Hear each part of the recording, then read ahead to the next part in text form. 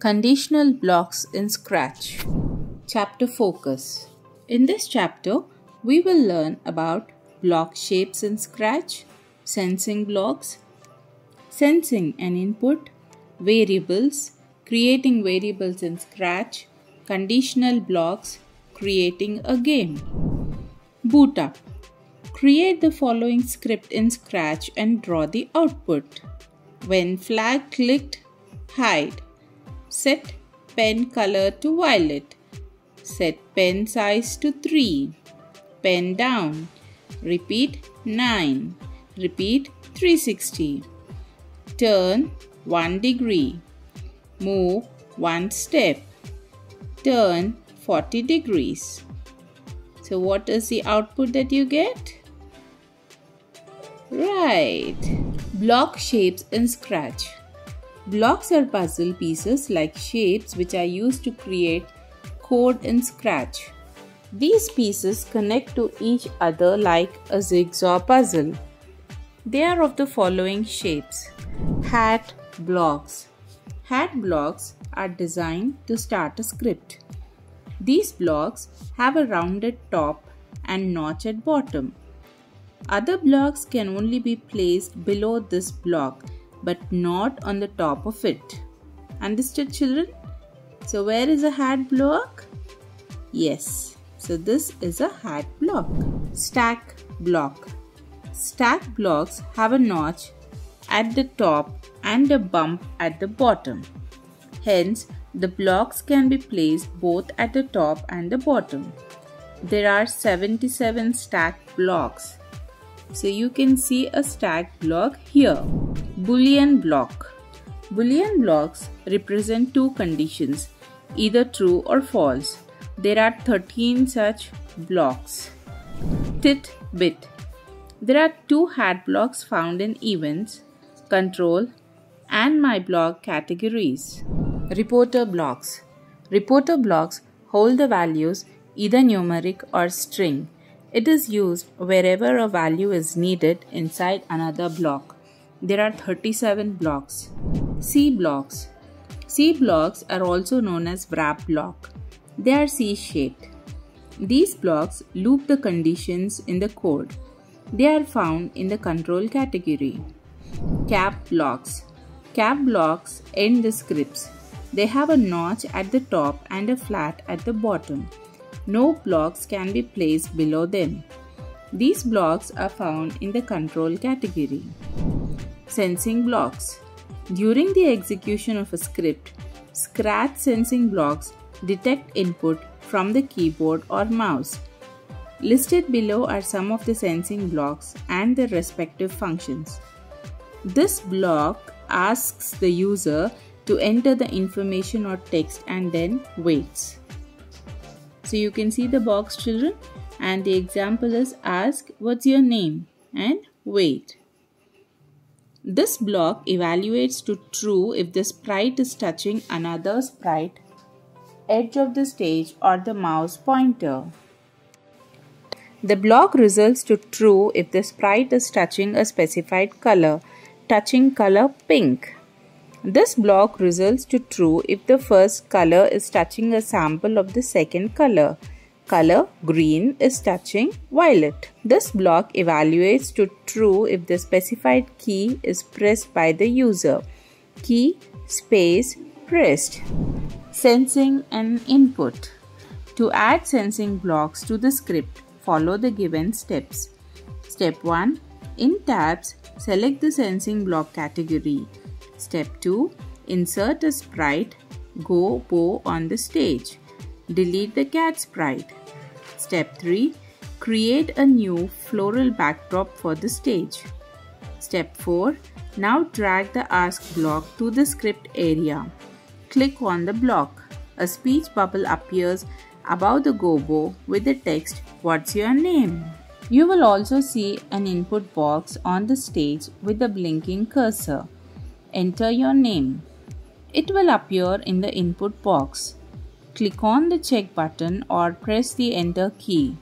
You will notice that the input box waits for your input.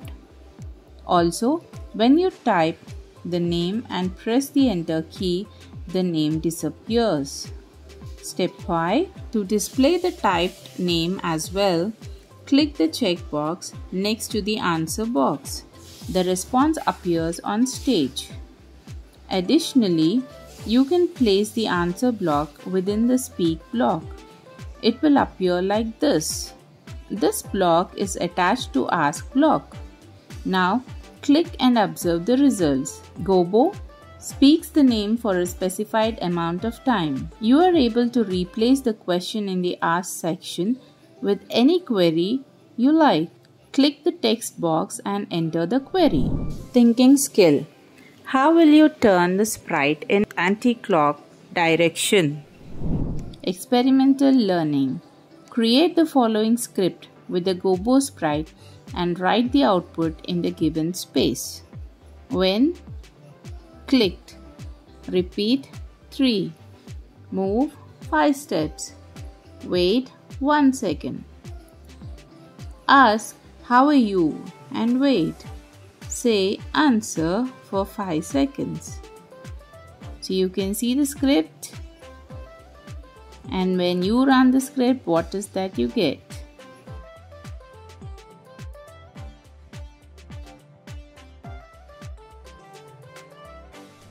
Variables A compute program requires data inputs. The data can be found in any format such as text, number, image, currency, date, etc. Since data can vary from value to value, the computer creates space in its memory to store that data. These computer memory locations are called variables. The value of a variable can change during the program execution time. For example, in a program, we need input as 10.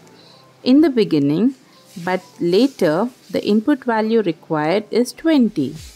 So in this case, a variable, say x is defined in the program which will store these values and help in the execution without changing the program block. In the Scratch program, we can define a variable by using the variable blocks. Blocks in the variable categories are In this block, when we select the checkbox, the block appears on the stage displaying the current value of the variable. This block sets the value to the assigned variable. This block shows the variable and its value on the stage. This block hides the variable and its value on the stage. Creating variables in Scratch. To create variables in Scratch, proceed as follows. Step 1. Select the variables block category. A collection of blocks appears in the palette of blocks. Step 2. Click Make a variable block. A new dialog box for variables open. Input a variable name in the box labeled New Variable Name. Step 3. Select either choice by selecting the radio button. If you want this variable to appear for all sprites provided here, or if you want this variable to appear only for this sprite, specify for this sprite only. Here, we've introduced the fruit variable. It will be accessible to every sprite. Step 4. Click on OK button. Fact Hunt Every time you type a name or number, the previous values in the variable gets deleted and the new value is stored. Variable is included in the variables block list. Note that the variable computer appears in every block. Create the following script immediately. When clicked, ask which type of computer do you have and wait. Say answer for 4 seconds. Set computer to answer. The sprite will request that you enter text on your PC. When you press the enter key, the computer's name displays in the sprite's speech bubble. The computer's name also appears in the answer as well as the variable's name on stage.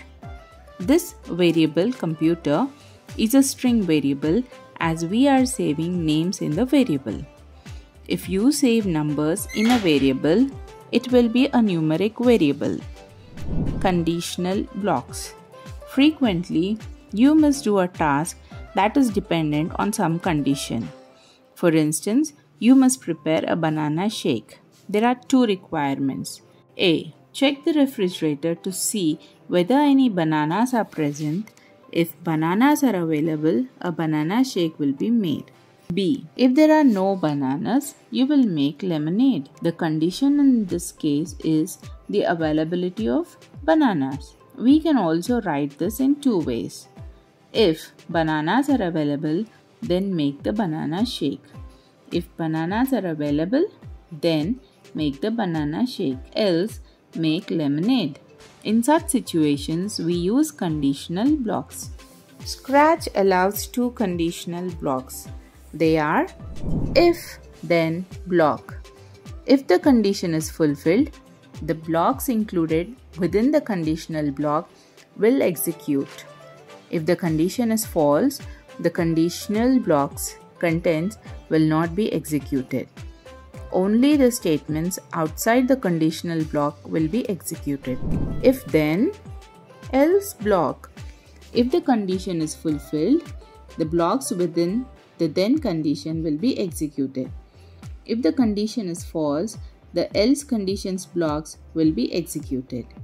These blocks can also be used with the forever and repeat blocks. Let us create a brief script. Change the sprite to a hippo butterfly and the background to a floral pattern. When the green flag is clicked, drag the event block to the script area. Place the control block on the green flag block by dragging it into the script area. Put the move block within the forever block by dragging it inside. Now, drag the edge block within the everlasting block using the mouse. Place the if then control block within the forever block and snap the color detecting block to the hexagon of the if loop. Now follow the given script. When green flag clicked, forever, move 25 steps, next costume, if on edge, bounce, set size to 100%, touching color green, question mark, then change color effect by 50, touching color orange, then switch costume to Hippo 1b. The hippo butterfly changes color and size when it touches the colors selected in the touch block. Similarly, you can create scripts with two sprites and they change color when they touch each other. Creating a game. Let us create a colored spinner that spins when touched with the mouse pointer. The first step is to draw a colored circle. Now, Create the given script for the colored spinner to spin. When green flag clicked, forever, touching mouse pointer, then repeat 100, turn 10 degrees. When you click on the green flag and bring the mouse pointer on the colored spinner sprite, it starts spinning. Chapter Recap Scratch blocks come in various shapes. They can be classified into six distinct shapes. Hat blocks always appear at the beginning of a script since they initiate the script. Stack blocks execute the fundamental commands. Boolean blocks are condition blocks that return true or false or the digits 0 and 1. Reporter blocks may contain either numeric or textual values. C blocks are loop blocks that examine whether a condition is met within the loop's blocks. Cap blocks are the script termination blocks. During script execution, the sensing blocks in Scratch detect input from the keyboard or the mouse. A program in Scratch is referred to as a script. We save information in the computer's memory so that we can retrieve it later. This information is saved in variables. The term for a variable that stores numbers is numeric variable. A string variable is a variable that keeps letters in the form of strings or characters. If then and if then else are the two conditional blocks available in Scratch. In Scratch, you may construct games by painting a new sprite and a new background.